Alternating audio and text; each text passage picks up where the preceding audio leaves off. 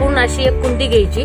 त्याच्यात मातीमध्ये टमाट्याचं बी किंवा अख्खं अर्ध टमाटर कट करून पण टाकू शकता. तुमच्याकडे बी जर नसेल घरात तर तुम्ही टमाटर कट करून पण टाकू शकतात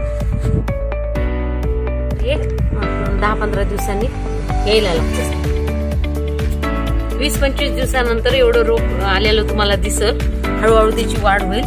एकाच कुंडीत जर खूप सारे रोप झालेले असतील तर तुम्ही ते अगदी हे छोट्या बॉटलमध्ये पण टाक टाकलेलं आहे आपण. असं छोट्या छोट्या पाण्याच्या बॉटल असतात ना पाण्याच्या त्याच्यात पण यूज करू शकतात किंवा प्लास्टिकच्या भरण्या असतात ना घरातल्या तर त्या पण उपयोगात करू शकतात लोकांनी. ही पाण्याची बॉटल आहे बिस्लरी. तर तुम्ही याच्यात सुद्धा टमाट्याचे रोप लावू शकतात. अगदी छोट्या छोट्या बॉटलमध्ये सुद्धा टमाट्याचे रोप येतात. त्याला मोठ्याच कुंड्या असाव्या असं काही नाही. घरगुती बॉटल पण वापरू शकतात. ही एवढंही कट करून घ्यायची.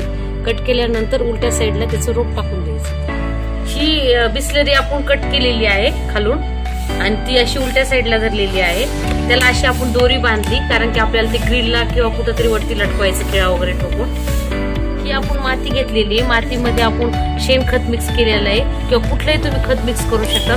आणि तुम्ही घरातही भाजीपाला जो असतो ना त्याच्यापासून खत तयार करू शकता. आणि खत याच्यामुळे करायचं की झाडं चांगले येतात झाडांची वाढ भरपूर होती. झाडांना फळं लवकर येतात हे आपण आता कुंडीतलं रोप काढलेलं आहे कारण की कुंडीत खूप सारे रोप झाल्यानंतर ते एकत्र व्यवस्थित येत नाहीत. आपण हे रोप याच्यासाठी घेतलं की हे कॉटनचा कपडा घ्यायचा कुठला पण आणि तो व्यवस्थित असा गुंडाळून घ्यायचा याच्यामध्ये कारण की ते ही बॉटल आहे ना याच्यामध्ये लावण्यासाठी आपण घेतलेलं आहे. हे रोप आपण आता असं उलट्या साईडला कपडा आत गुंडाळलेलं टाकलेलं आहे. त्याच्यामध्ये आता आपण माती भरणार आहे.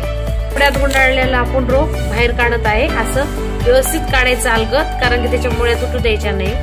कपडा त्या करून शिने असं काढायचं व्यवस्थित. याच्यात आता आपण माती भरणार आहे ह्या रोप टाकलेल्या याच्यामध्ये. हे तुम्ही असं ग्रिलला किंवा खिळ्याला तुमच्याकडे जी जाळी वगैरे असेल त्याला तुम्ही असं बांधू शकता. तर अशी आपली सगळी रोपं आम्ही अशी तयार केलेली आहेत.